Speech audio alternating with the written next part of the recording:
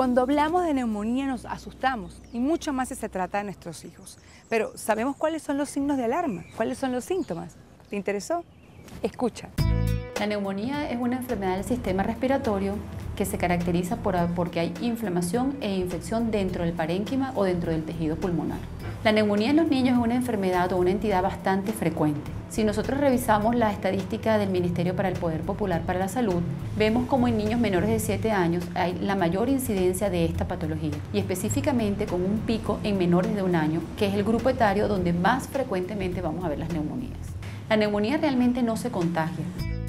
Usualmente, un paciente para tener una neumonía tiene que haber tenido un proceso respiratorio superior, como un catarro, una gripe o un resfriado común. Como consecuencia de esto, hace una complicación que es una neumonía, que puede ser una neumonía viral o una neumonía bacteriana.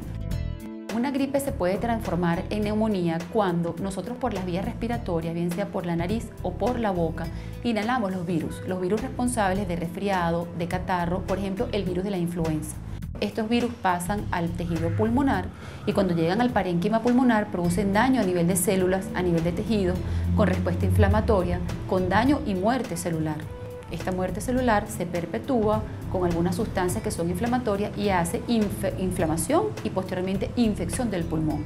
Los síntomas de la neumonía son básicamente fiebre de difícil manejo, hay tos, hay dificultad respiratoria, puede haber lo que llamamos aleteo nasal, puede estar el paciente taquicárdico, puede tener dolor torácico, dolor en el pecho, dolor abdominal y dolor de cabeza.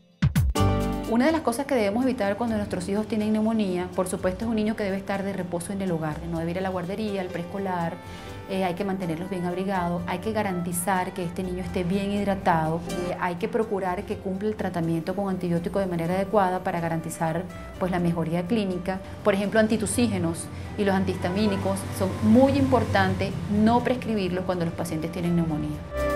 Como recomendación final, tenemos que garantizar que nuestros niños tengan sus esquemas de inmunizaciones completos. Contamos con vacunas como vacuna de neumococo, hemófilo y vacuna de la gripe. Nos ayudan a luchar contra patógenos productores de neumonía y que las madres conozcan cuáles son los síntomas y las complicaciones para que pueda consultar a tiempo a su pediatra. El lavado de las manos es vital para prevenir la neumonía y miles de otras enfermedades.